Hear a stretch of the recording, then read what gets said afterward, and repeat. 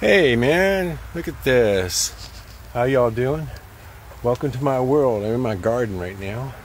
And actually I don't do a lot in here, but I came in to see and some of the fruit was just hanging, so I put it in baskets so that it can ripen. And this is an idea for how to make old screens from old houses. Use them for the top of your little greenhouse. So what I've got now is all these vines that start down here and go up the wall and get all that again, salvage screens off of houses and stuff. I have hundreds in stock.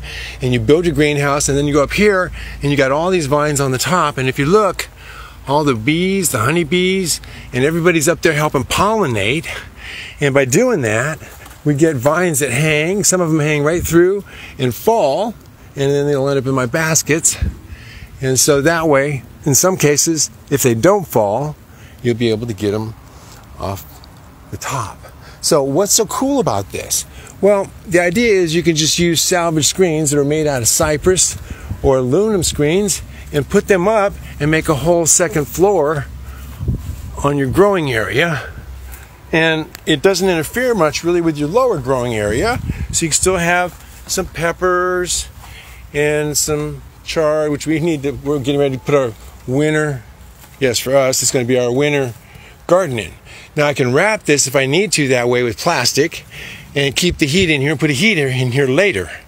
And I can do a number of other things, keep my weeds alive too. As you can see, I got a lot of weeds. I was just clearing those out as a matter of fact. And so this is just an idea, folks. I wanted you to see now up on top, you can see there's a walkway.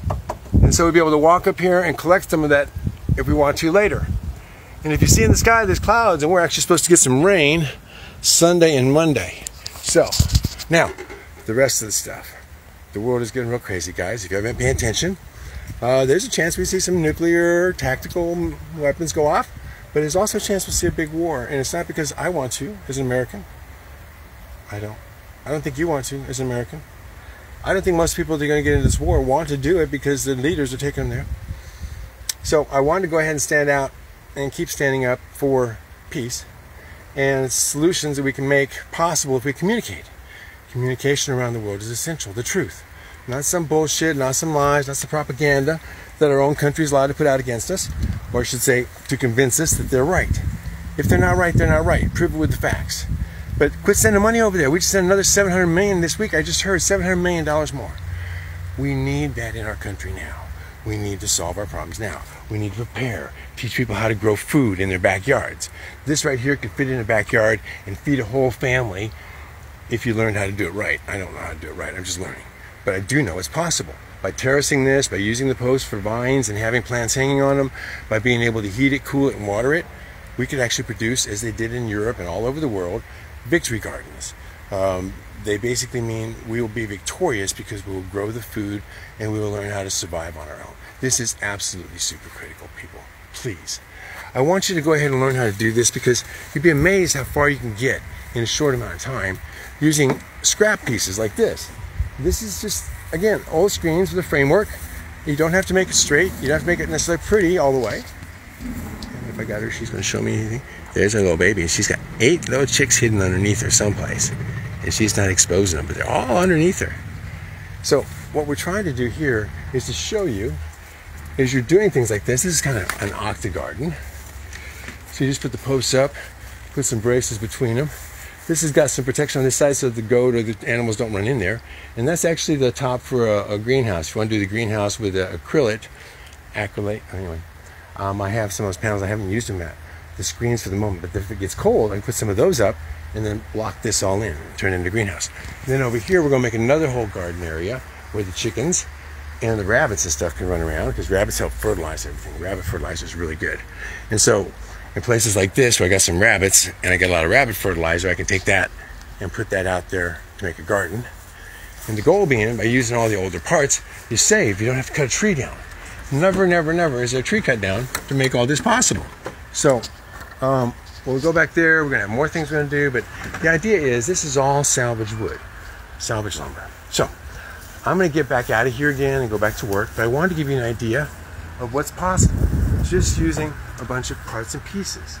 All salvaged wood. All of it, all of oh, this will last forever.